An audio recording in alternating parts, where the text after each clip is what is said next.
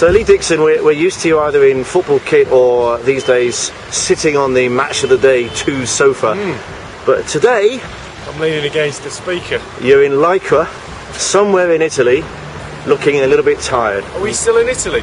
Why? What's going on? Well, Lawrence, sorry, I got a cough overnight.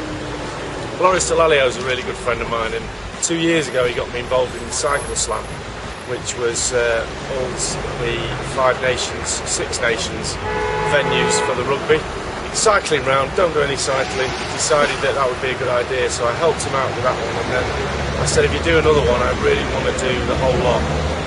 Here I am now, and I'm now wishing I hadn't done the whole lot because it's brutal.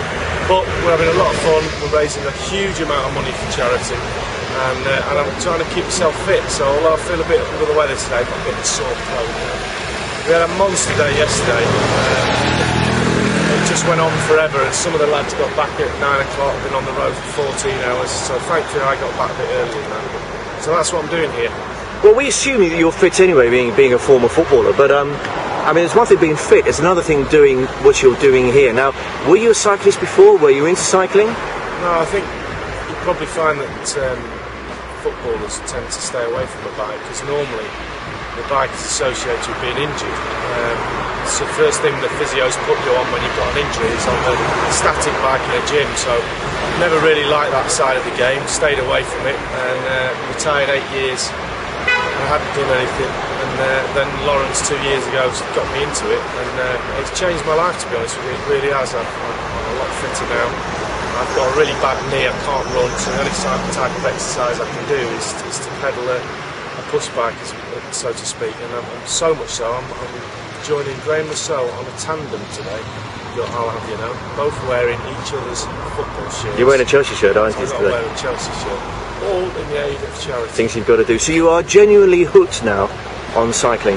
Yeah, pretty much. I go. I tend to um, try and fit my my weekly schedule around going out on my bike a couple of times a week. I've been training quite a bit for this, but I don't think anything prepares you for the amount of um, cycling you do, the amount of hours on the, on the saddle. It's, it is pretty relentless. The guys are coming in. Uh, the, the people who are coming in and paying to, to, to charity to go on these five-day um, excursions, then go home after five days, and obviously the core riders like me and Graham sort of stay and then have a big smiley face for the next lot to come in.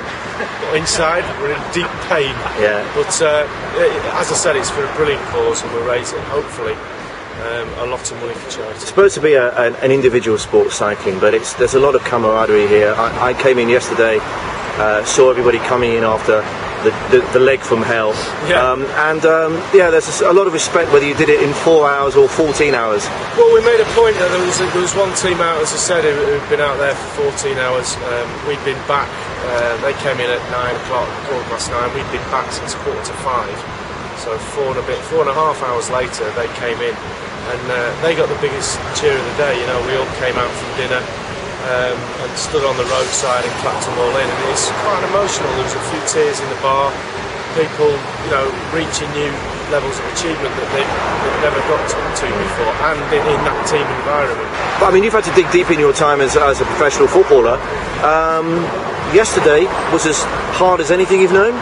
Certainly, my hardest day on a bike, um, and it's cycling is different because you're out there for so long. And, uh, there was a few hills yesterday that really tested me, and, and that's the importance of the team ethic. You know, to try and um, put yourself in a position where you can help other people out. And um, I think that really came to the fore yesterday because there was a lot of a lot of tough climbs to do, and uh, and then when you just thought you were you were at home, we had a six kilometre climb to get into to get into the town, which didn't go down too well. But you know, you stick together. You grow. There was lots of little groups pushing each other. I don't think many people were on their own yesterday at the finish. They might have been during the ride when you get left behind or whatever.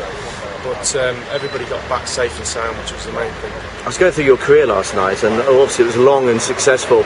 Um, I want to ask the question: Does it seem as if it, it went in five minutes? You'll probably think not, not all the injuries and, and all the effort, but I remember you playing for Stoke, um, and that's like a lifetime away, and it's just here we are. It's, it's gone. It's finished. Yeah, thanks for that. really depressed now. no, it's, it, it does go quickly, and the thing is with it is that I think that's the biggest um, piece of information that players like myself and Graham so and um, Freddie and Lawrence to their respective um, youngsters who are in the game is to say that you you really have to grab every moment, you know, because could it could be over at any minute with an injury. Um, or just you know lack of form and you don't get a new contract. So you've really got to grab every single moment. I think that's the important bit of information I would give to kids playing the game who've got to a level where they're, they're being paid to play the you know be a, be a, be a hero if you like and, and play the, play professional sport. And when you look back in your career, put it this way, if, if it had been offered to you at the start, I would imagine you would have bitten every hand made available to you. England, uh, Premierships, Cup. I mean, you won pretty much everything with Yeah. the best team in the country at the time. You'll, you'll take that, won't you? Oh well, yeah. I mean, when I was signed pro at Burnley when I was 18, you know, just to, just to be a professional footballer was, you know, that was good enough for me. And I used, to go around asking people what they did for a living. So they'd ask me, and I'd just go, "Yeah, I'm a professional footballer." So it was a very proud moment for me, and uh, and something that I tried to carry through my career and be proud to put whatever shirt on. Although I'm wearing a Chelsea shirt today with my name on the back, doesn't feel quite right, but I'll No. wear it with pride because it's No. uh, it's for a good cause. And you're a Man City supporter. Yeah. But obviously, I guess you played for a few teams, but Arsenal is the team you're most associated with. So, I don't know, mixed emotions. Um, Well, I mean, everybody asks me that. I am a City fan as a, as a kid, but you can't play for a team for 15 years and not have a, a special affiliation with them. I know all the people at Arsenal. I don't know anybody in City apart from Patrick Vieira. Um, oh, David Platt. I know quite a few actually. um, but I, I kind of my, my, my main affiliation is with, with Arsenal now. But it, would give me great pleasure for, for Man City to obviously win the league. Pick them at the start of the season Yeah. to win the league. Uh, that's why you get the big bucks, you see.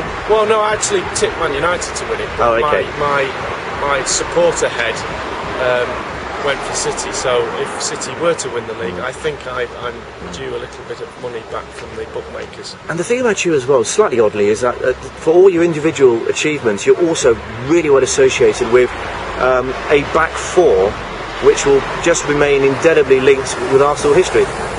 Yeah, I'm incredibly lucky to play for a, big team like Arsenal, but also to, to be a member of a team within a team almost was very special to me. I know the rest of the lads, well, I hope the rest of the lads feel the same way, but we had a very special bond. Um, and, and it was a it was a special bond on the pitch rather than uh, you know off it as much. We you know we, we hung out together now and again, but we weren't you know in each other's pockets having dinner with each other every night. It was kind of a bond that was formed on the training pitch, and we took that out onto the onto the onto the pitch on Saturday, and it, and it proved pretty successful. And I'm very proud to be a, a member of that. Well, Lee, uh, the road is not finished for you, my friend. A long, long way to go. Well done so far. Thank you. Keep it up, and uh, and we'll keep tabs on you. My pleasure. Cheers.